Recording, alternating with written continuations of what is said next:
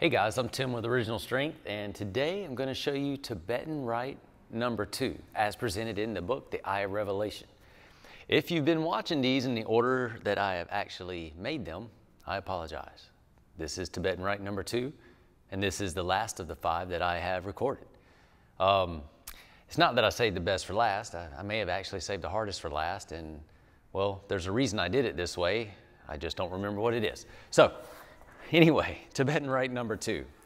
What you do is you lay on the floor fully stretched out. You take your hands, put your fingertips close together, put your hands by your hips. And the book says to turn your fingertips in towards each other. And then you're going to try to raise your head and your legs at the same time, something like this. And you want to keep your knees straight. And if you can, bring your feet up or your legs up over your body. You don't have to, but it says in the book that it's nice if you can. So that would be here. And then you lower your legs and your head back down at the same time.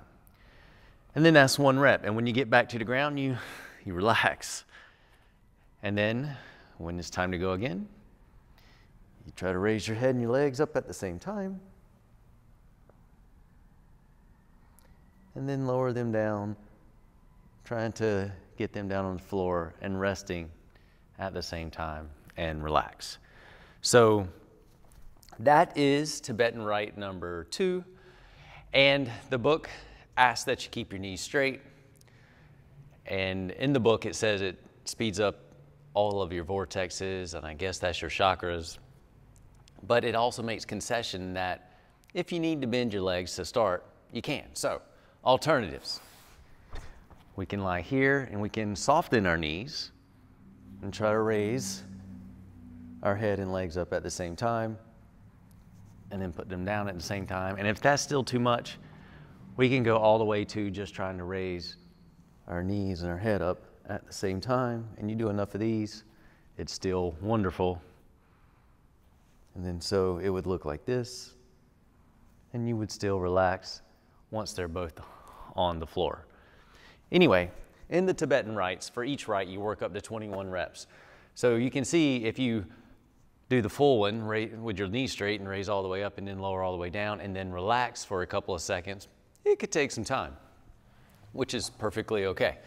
Um, anyway, that is Tibetan rite number two.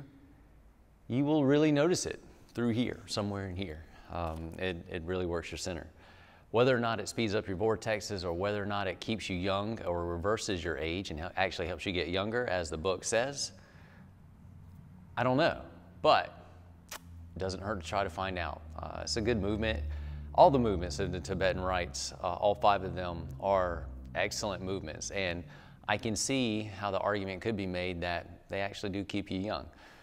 Um, anyway, I hope you have enjoyed the series, which if you're watching this in order, this makes no sense at all. Just keep, keep watching in order, it'll be fine. Um, thanks so much for watching. I'm Tim with Original Strength, and we'll see you next time. To learn more, consider attending an Original Strength workshop. Visit originalstrength.net.